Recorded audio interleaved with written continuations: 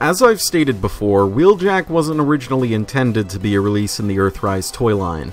Technically, he was planned as far back as the early days of Siege, where he was involved in that two-pack fan vote that resulted in Mirage and Impactor getting their toys first, with a surprise late-wave appearance from Spinister.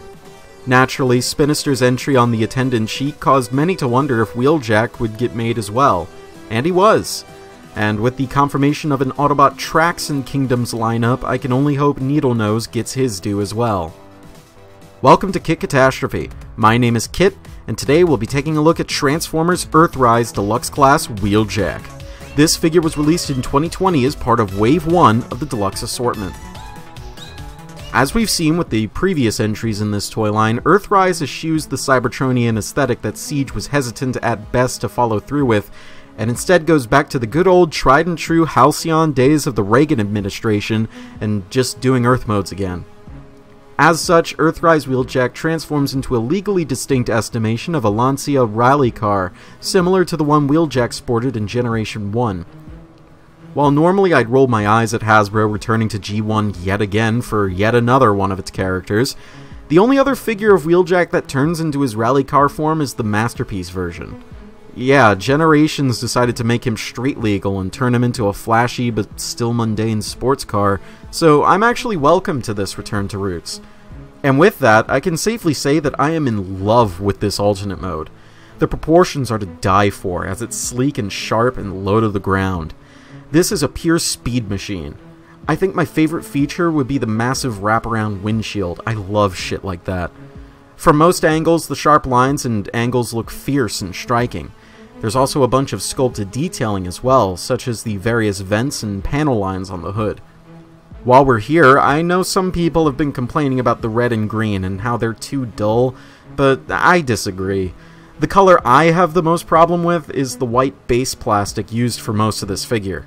It's kind of a sad meme at this point that Hasbro can't get white plastic right, and Wheeljack's no exception to this, as he's cast in this sickly off-white that may look good under my lights from time to time, but in normal viewing conditions just looks kinda gross.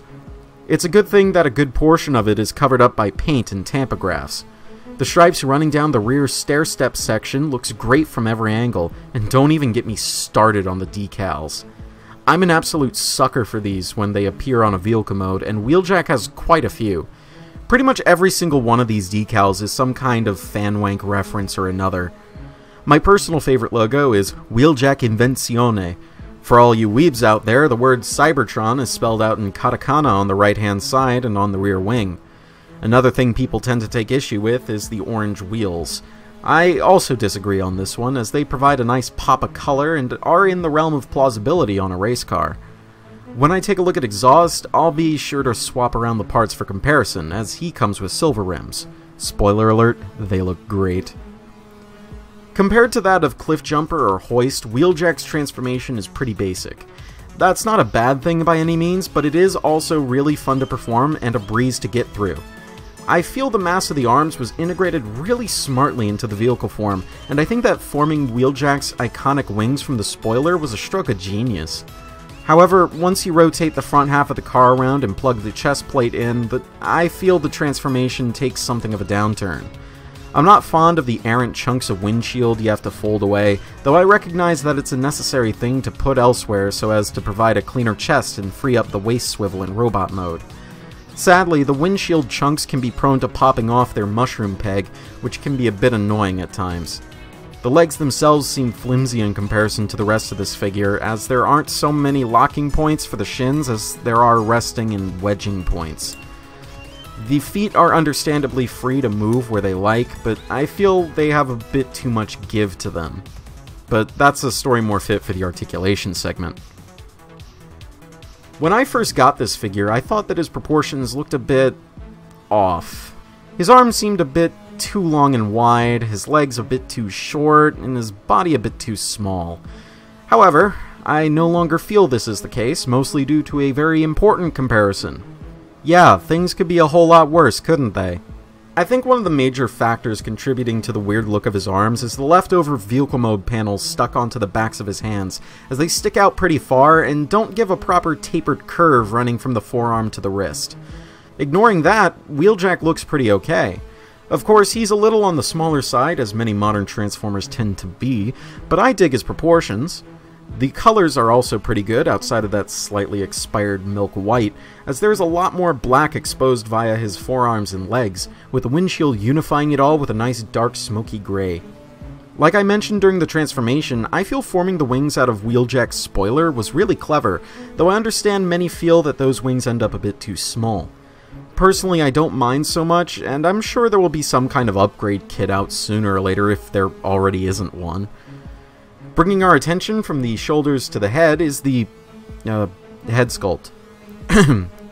I suspect I'm beginning to sound like a broken record at this point, but whoever's been designing all the head sculpts has done a really bang up job lately. Wheeljack's head design is one of the few I dare describe as iconic without sounding like too much of a pretentious bastard, since compared to pretty much the rest of the Transformers multiverse, it's so unique with the triple pronged mohawk and those strange protuberances jutting out his ears. We're spoiled as it is with these head sculpts, but in a perfect world, those would be made of some vibrant blue light piping. Wheeljack only comes with one accessory, a chunk of weaponry painted entirely in a gleaming gunmetal gray. You can place it in Wheeljack's hand, but I don't know why you'd want to when it's clearly meant to be his shoulder-mounted rocket launcher. It tabs into either of the slots beside his head and looks like a happy little bird perched up there. Now, some take issue with the fact that Wheeljack doesn't come with a handheld weapon, but I don't feel he needs to come with one when he's got his trusty launcher. He's got plenty of 5mm ports to utilize any of the weaponizers from Siege or commandeer someone else's gun, the spoiler wings are actually removable, revealing even more ports with which to go wild arming this crazed inventor. Now, I'm gonna tell you right here, Jack. Wheeljack is a bona fide, certified inventor. He ain't no poser. Posing. Starting at the head, he has a ball joint, which actually has a lot of range. It can rotate all the way around, even with the shoulder uh, missile launcher in place, and it can look up a little bit and it can look down a little bit, so he can do a nice nod. He can even tilt a bit because you know in, uh, inquisitors, inventors have to be inquisitive. The little back wings can twiddle back and forth however you like. You can get them out of the way if you don't want to give him wings and just give him a little plank behind his shoulder, but I like things at an angle. His shoulders move forward on a swivel joint and they move backwards a little bit, but they do crash into this back plate pretty hard. But you can bring the arms outwards and maneuver them around. There's also another pin joint in the middle of the shoulder mass that allows him to shrug a little bit, so you can have him be like, I don't fucking know what to do. I, I, don't I don't know. As you could see in that exhibition of pure comedic genius, his biceps swivel, though they do. As you could see in that exhibition of comedic genius, his biceps. Motherfucker! His biceps swivel, though they don't go all the way around because some molding detail gets bunched up against some more molded detail and it just clashes. It can go this way too. There's only a 180 degree arc of rotation, so you can't get him to do unnatural things. His elbow also only bends 90 degrees, which is a shame, but, you know, it's the bare minimum of what I deem acceptable. His wrists also swivel, but they are free because of the way the car panel is cut, it allows a free swivel. Speaking of a free swivel, his waist swivels all the way around on a very nice joint. His legs can kick forward and they can kick backward. They can do the splits. The thighs can rotate 360 degrees. And the knees can bend just about 90 degrees, which is okay. Out of the box, you'll find that the feet probably won't tilt that's because there is a tab somewhere in here that you need to unlock, and it gives you a an extremely deep ankle pivot. There's also like a bajillion more fucking joints in the toe here that allows it to just go all over the fucking place. And my problem with this is that there's really no detent to like let it rest somewhere and let it hold. You just kind of mush it down. Sometimes sometimes you'll end up with the foot where the car bits go under the sole of his foot. though if you mush it down against the floor, uh, you'll be fine. I don't really like the feet. They're they, they they work fine. It's just that they feel a little flimsy, is all, and I'm not all about that. But yeah, Wheeljack poses pretty well. I'd say his uh, his articulation's nominal and standard for his size class, so there's really nothing missing from him. It's just that I just wish maybe his elbows and knees were double jointed, is all. Wheeljack was the figure from Wave 1 of Earthrise I had the most trouble finding, as distributing in my area hasn't always been the best, and he was the only member of his wave not to be in stock on Amazon at the time. Eventually, of course, I got him, but I'm not sure he was worth the wait, as some would say. While not as absolutely microscopic as Cliffjumper, I feel Wheeljack is a little too small for the price point, and his transformation not quite as solid as I'd like. The lack of any handheld weaponry isn't a big issue for me, but the engineering feels a little lackluster, mostly due to those shins and feet.